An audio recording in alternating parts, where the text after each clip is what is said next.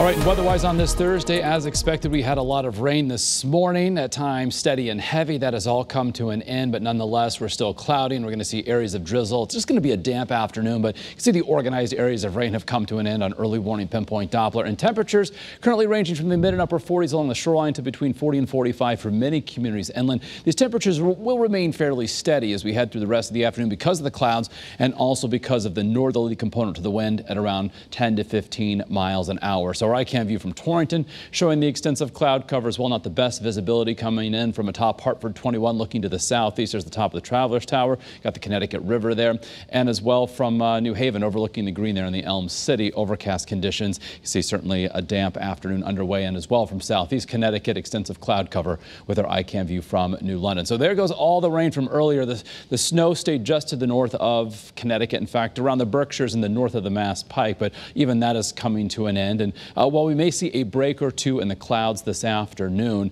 Uh, we're watching another storm system approaching from the west, so we're going to get with a warm front later tonight a chance for some scattered showers, maybe a thunderstorm in the pre-dawn hours. Then a cold front moves through late in the day tomorrow.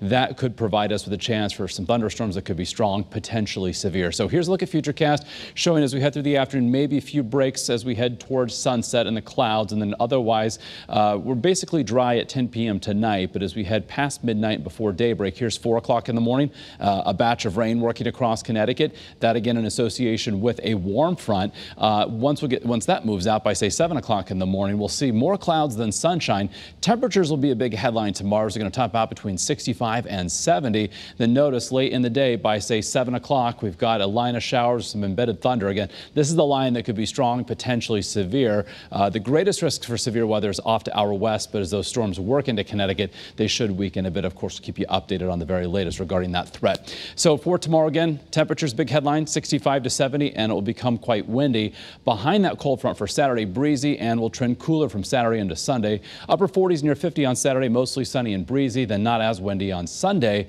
Ample sunshine highs between 40 and 45. So a nice break from the wet weather, but it will be cool for the weekend, the first weekend of the spring season.